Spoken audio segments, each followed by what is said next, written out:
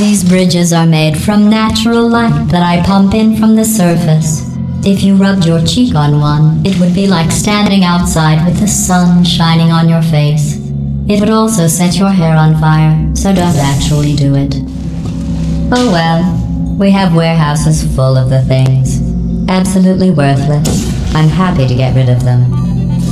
Go ahead and grab another one.